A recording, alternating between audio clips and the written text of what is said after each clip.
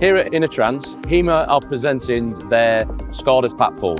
Uh, in this particular environment, we're dealing with a rail electrification control application.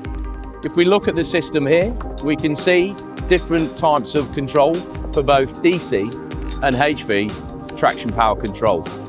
In the screen here, you can vision the control of ring main functionality of AC power distribution.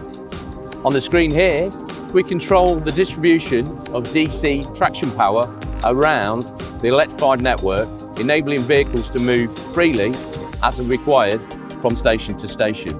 Now let me show you some of the features and functionality. At the second level, we deep dive into the substation environment of the SCADA control platform. Here you can see multiple devices that we're able to control and monitor throughout the network. That includes circuit breakers and non-traction power supplies to station assets and signalling installations.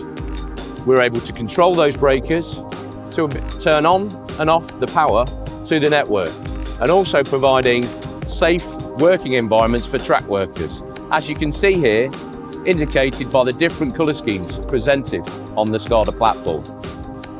If we move into some of the other areas that we can deliver in SCADA, such as tunnel ventilation, I can share that with you as well.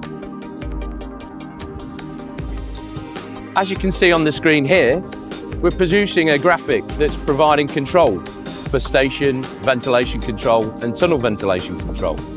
Interfacing to safety certified fan control panels, we can deliver pre-configured scenarios that will provide automatic, safe operation and ventilation of the tunnel systems, providing the railway with a safe and operational environment. HIMA's SCADA platform for rail electrification and other applications is state-of-the-art and a leader in technology today. Thanks for listening.